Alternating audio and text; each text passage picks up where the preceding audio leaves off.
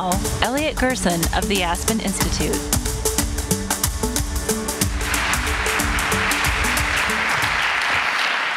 Good afternoon, good evening. Wasn't that amazing?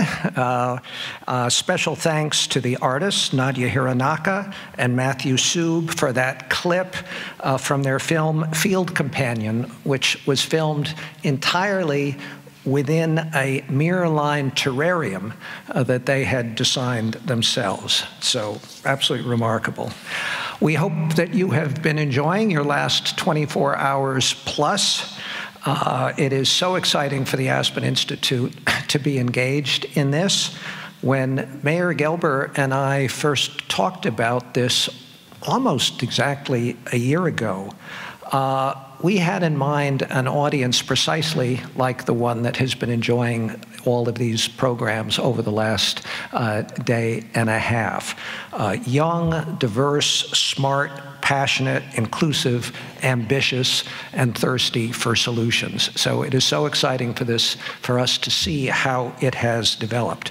We knew that Miami uh, already a significant global hub of culture and commerce, could be an ideal partner for us to bring our ideas brand uh, away from Colorado and to a location specifically to focus deeply on one of the most important issues any of us ever will face. And uh, all we had to do was combine that idea and vision that the mayor had with the dedication of teams at Aspen, uh, Kitty Boone and her ideas team, and also Greg Gershuny and his climate and energy team, and voila. And we thank all of you for participating in it. And of course, we can't thank again or too much uh, our partners and sponsors for making this possible. So in this next plenary session, we're going to have Helen Mountford sharing how we can truly decarbonize the shipping industry.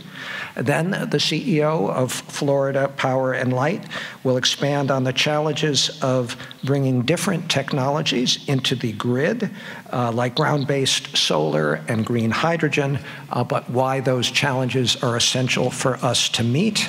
Uh, Anthony uh, of the Yale Program on Climate is going to show us some takeaways from the incredibly fascinating recent data uh, that he has analyzed about what America really thinks about climate change and how we can reach everybody.